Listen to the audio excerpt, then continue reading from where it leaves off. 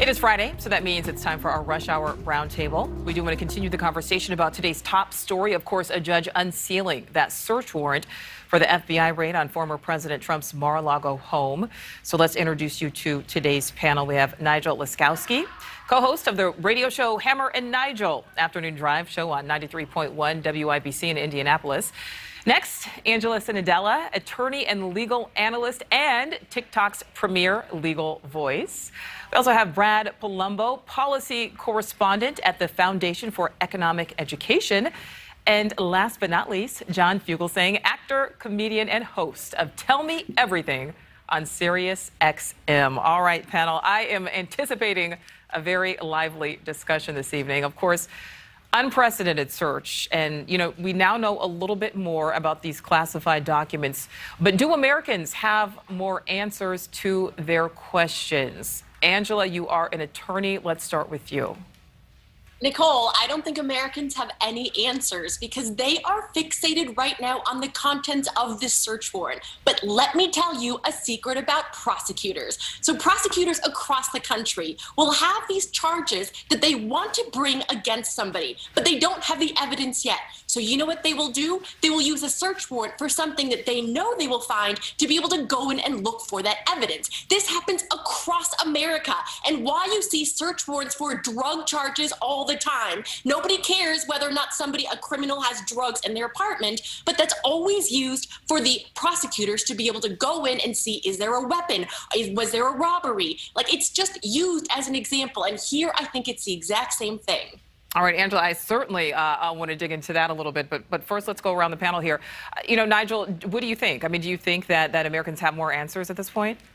Yeah, we're basically still in the same situation we were yesterday. Uh, uh, the warrant says there's top secret info. Trump says there's no uh, top secret info. Here's the most important question. Your guest asked it at the top of the hour. What's in that affidavit? What information did the judge see to make them say, oh, hey, wait a minute, we got to go in there and get this stuff? And why did the judge give the Justice Department and the FBI a ton of time to execute it if it were such a detriment to national security? They waited days to execute this warrant that they claim had national security implications. What was the emergency? Is this why you went through Melania's underwear drawer? I don't get it. There are no answers until we see that affidavit. Well, John, what do you think? Every square inch of this building has cameras in it. If Donald Trump uh, has footage of agents behaving in any untoward way, ransacking, raiding, going through Melania's undergarments, we would have seen them by now. The lies are going to keep coming, and that's the only thing that we can completely keep track of. I, I got to say, this decade has proven the most unprecedented thing about America now is our unprecedented abuse of the word unprecedented. I do think that we are not going to learn a lot right away, and we may never know. There's a very good chance that the government got back what it wanted, and this will go away, and we will never be given a satisfactory explanation. All right, Brad, before we get to you, John, I, I want to clarify this. You said the lies will keep coming. The lies from which side, or are you just saying across the board? Oh, I'm sorry. The lies from the uh, former host of Celebrity Apprentice, which you know New Yorkers have been accustomed to for quite a long time. This was not unprecedented. They they they had a request. The documents were returned, but not all. And then a subpoena was ignored in the spring. Um, this was done deliberately with the most sensitivity if it's not possible. unprecedented, which, in Mar-a-Lago, there was no one staying there, and it was only the staff and the Secret Service who let the federal agents in. It wasn't a lawless raid. That's Breonna Taylor. All right. Well, Brad, you, you know, you brought up a point there. Go ahead, Brad. Yeah, I just want to know the name of the former president who's had their home searched before because it might not be unprecedented, but that'd be news to me and a lot of people.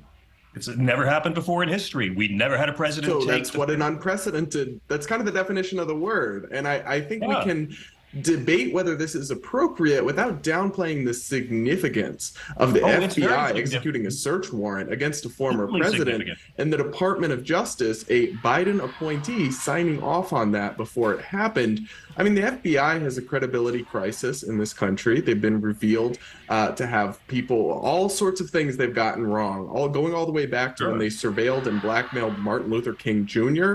up until more recently when we saw evidence leak that agents were biased against Trump. I think people have a lot of questions of these agencies and what they've done, and we don't have a lot of answers yet. The search warrant is really just the beginning. We'll have to see where it goes, but I I, I don't want us to downplay how significant this is, and, and there it. should there should be real accountability if this was anything other than 100% by the book, ample evidence.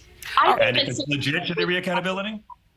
I see. I, I am certain that this search warrant was definitely by the book. In order for Attorney General Garland to go this far, he had to make sure all of his I's were dotted, all of his T's were crossed. That to me is not a question. This search warrant was legit. And this is why it's only about classified documents. But my opinion is that they were actually looking for criminal evidence to bring potential charges that are much bigger than this, right? Related to the Capitol riots. And they were using this as a ruse to go in. But this search warrant, I think, is going to be all by the books, and a judge is going to affirm that if it's contested.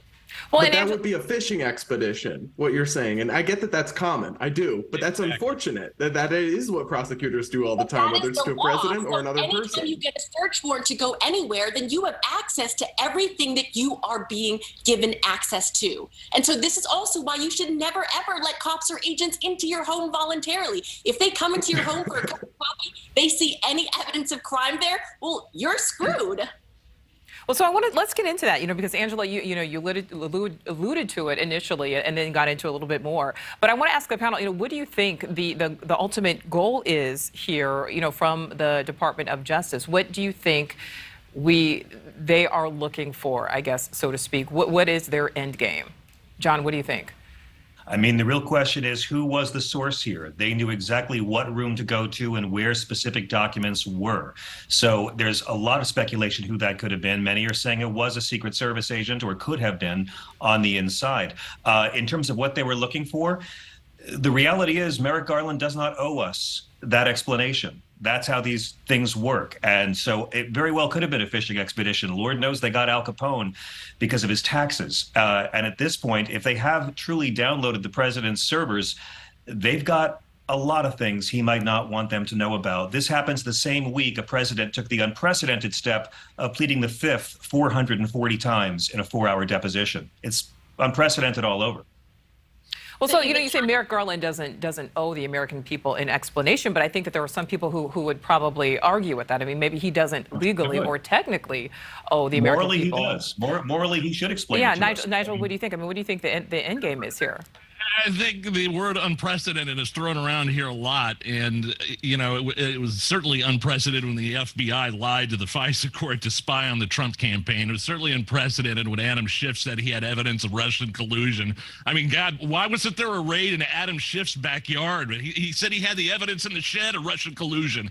Please give me a break. This kind of sounds like the FBI said go in there and find something. There was no need for a raid. Trump uh, was com- uh, uh, was complying and cooperating with the raid in June. Why didn't the FBI seize this stuff when they were there in June? Is the big question.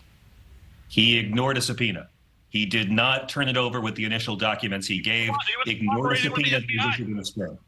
He was cooperating with the FBI. They, they said, Right. "Come and get it." He said, "Come And and, by the way, it." the head of the FBI is a Trump appointee. So uh, Donald Trump was not cooperating. He had not returned the documents he had said he would return, FBI and he had ignored a subpoena issued in the spring.